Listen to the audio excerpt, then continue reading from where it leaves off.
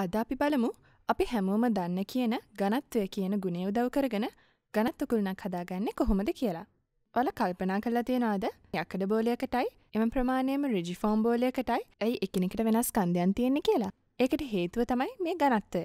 ගනත්වය කියන්නේ ඒකක පරිමාවක තියෙන ස්කන්දය කියන මිනුමයි.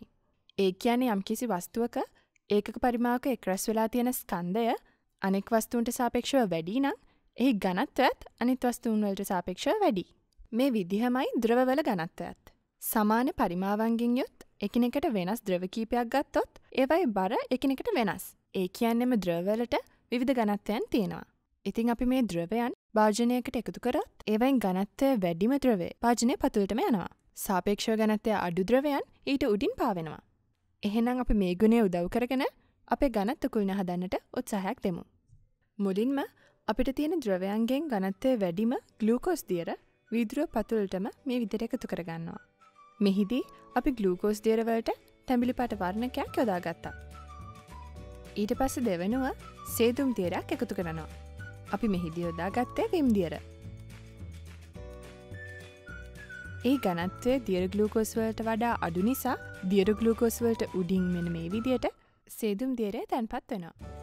මෙහිදී සේදුම් දියරය ඉතා ප්‍රවැසමෙන් සහ හෙමින් එකතු කරගන්නට අපි ප්ලාස්ටික් බටයක් උදව් කරගත්තා. ඊළඟ ස්තරය විදියට අපි එකතු කරන්න යන්නේ වතුර.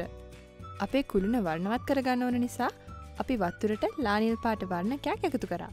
දැන් ඉතා සෙමින්සා ප්‍රවේශමෙන් මෙන්න මේ විදිට ඩ්‍රොප එකක් උදව් කරගෙන වතුර ටික අපි වීදුරුව තුළට එකතු කර ගන්නවා.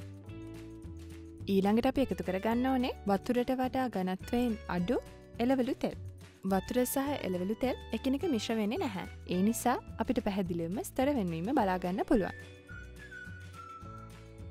දැන්න අපි ඊළඟ ස්තරය විදියට සර්ජිකස් ප්‍රීත්තු මේ විදියට එකතු කරගන්නවා.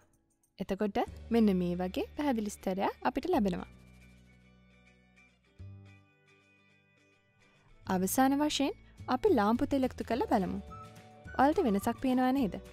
ලාම්පුතෙල් සර්ජිකස් ප්‍රීතු සහ එලවලු තෙල් අත්තර පාවෙනවා. ඒ කියන්නේ ලාම්පුතෙල්වල ගනන්තය සර්ජිකස් ප්‍රීතුවලට වටා වැඩි. ලාම්පුතෙල් සහ සර්ජිකස් ප්‍රීත්තු ඉතා ස්වල්ප වශයෙන් එකනෙක මිශ්‍ර වෙනවා. ඒ නිසා මුලින්ම ලාම්පුතෙල්ල දර ඊට පස්සේ සර්ජිකස් ප්‍රීතියදුවනක් අපිට මීටත් වඩා පැහැදිලි ලෙස ස්තර වෙන් කරගන්න පුළුවන්. ඒ නිසා එකතු කරගන්න විවිධ ද්‍රවයන් එකනෙක මිශ්‍රවීම පිළිබඳවත් අපි වර්ණකයන් යොදාගන්නව නම් ඒවා අනෙක්ද්‍රවයන් සමඟ මිශ්‍රීම පිළිබඳවත් අප ගොඩක් සැලකිලිමත් වෙන්න ඕන. එහෙනම් ඔයාලත් ගෙදරදී හම්බෙන විවිධ ද්‍රවර්ග යොදාගෙන මෙන මේ වගේ සිත් ගන්න සුළු ගනත්තකුල්නක් හදන්න උත්සාහයක් දෙන්න. ඉදිරියේදිත් මේ වගේම වීඩියෝවකින් අපි නැවත හමුවමු.